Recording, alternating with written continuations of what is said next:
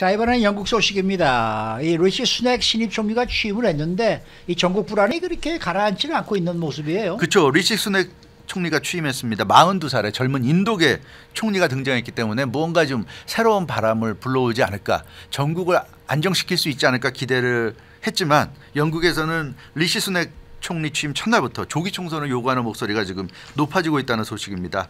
리즈 트러스 전임 총리가 44일 만에 물러나서 역대 영국 최단명 총리 불명예 기록을 세웠는데요.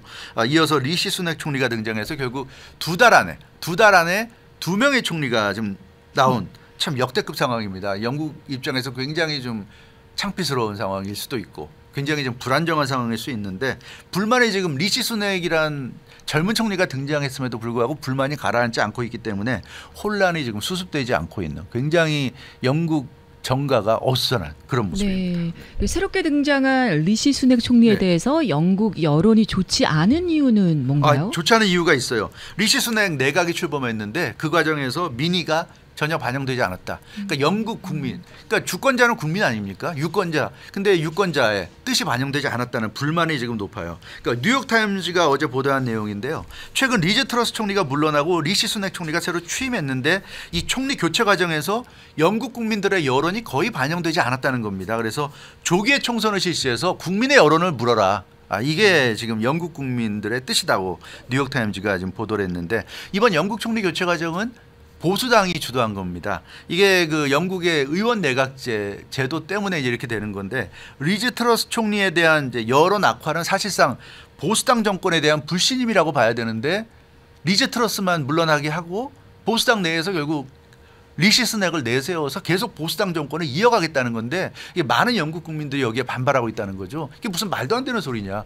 우리는 보수당이 싫어서 지금 리즈 트러스를 불신임했는데 보수당이 자기들 마음대로 총리 바꿔놓고는 계속 가겠다? 말도 안 된다. 이런 지금 음. 얘기인 거죠. 그래서 영국 국민들의 불만이 높다는 얘기입니다. 네, 그러면은 이 뭐 수넥 신입 총리의 앞날이 매우 불투명한 상황이, 상황이 되고 말았네요. 그렇죠. 리즈 트러스가 물러난 날이 20일이었습니다. 지난주 목요일이었는데 이때 유고부가 여론조사 실시했어요. 유고부 여론조사에서 조기 총선을 실시한다는 응답이 영국 국민의 63% 거의 3분의 2에 달했습니다. 그러니까 영국 국민들은 투표하자 다시 투표하자. 우리는 지금 보수당이 아주 싫다 이런 지금 얘기예요. 그 영국 정부와 어, 하원 청원 사, 사이트에도 조기 총선을 요구하는 청원에 88만여 명 이상이 지금 서명한 것으로 나타났습니다. 근데 영국이 의원 내각제를 채택하고 있기 때문에 아, 이렇게 총리가 임기를 채우지 못하고 물러나는 경우에는 집권 여당이 마음대로 바꿀 수가 있는 거죠. 이게 지금 문제로 지적, 지적이 되고 있어요. 리즈 트러스 가 사실 총리가 될 때도 보수당원 16만여 명의 투표로 총리직에 올랐는데 이게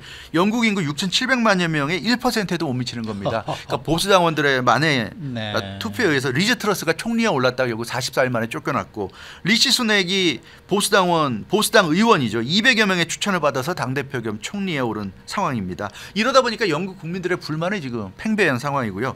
현재 여론조사 보면 노동당 지지율이 보수당보다 거의 두 배 가까이 높아요. 높은데 이렇게 지지율이 형편없는 보수당이 마음대로 총리를 바꾸고 있다? 안 된다는 얘기입니다. 그래서 엔젤라 레이너 노동당 부대표가 성명을 발표하고 리시 수낵 총리 취임에 문제 제기했습니다. 리시 수넥은 영국을 어떻게 이끌지 한마디도 하지 않고 지금 총리에 올랐다. 이럴 수가 있느냐 이렇게 문제 제기했고요. 누구도 투표할 기회를 얻지 못한 상태에서 총리가 된 사람을 영국 국민들이 인정할 수 있나? 이게 지금 노동당 부대표가 발표한 공식 성명 내용입니다. 근데 이 성명에 많은 사람들이 공감을 하고 있어요. 리시 수넥이 도대체 누구고 저 사람이 도대체 무슨 생각을 갖고 총리할지 아무도 모르는데 저렇게 총리할 총리가 될 수 있냐? 이게 지금 영국이 무슨 보수당만의 영국이냐? 이렇게 지금 난리가 난 그런 상황입니다. 그래서 이번 기회에 영국 의원 내각제의 좀 문제점에 대해서도 아마 좀 지적이 될 것 같고요. 규정상으로는 2025년 1월까지만 차기 총선을 치르면 되기 때문에 보수당은 당연히 조기 총선 하고 싶지 않죠. 지금 네, 인기도 없는데. 그렇죠. 예, 그렇지만 계속 이런 상태면 영국 국민들이 반발이 거세기 때문에 전국 수습이 되지 않을 것 같아요. 그래서 리시 수넥 신임 총리가 빠른 시일 내에 음. 지지율을 반전시키면서 무언가 영국 국민들의 사랑을 얻게 된다면 뭐 조기 총선을 가지 않아도 되지만 그렇지 않다면 조기 총선으로 갈 수밖에 없지 않느냐. 그러니까 시간이 얼마 안 남았습니다. 리, 리시 수넥이 뭐 앞으로 몇 달 안에 몇 개월 안에 좀 상황을 반전시키는 어떤 모습을 보이지 못한다면 조기 총선으로 가야 되지 않을까 싶은데 아무튼 영국은 어, 굉장히 좀 혼란스러운 상황이 예. 계속될 것 같습니다. 네. 주영석 기자였습니다.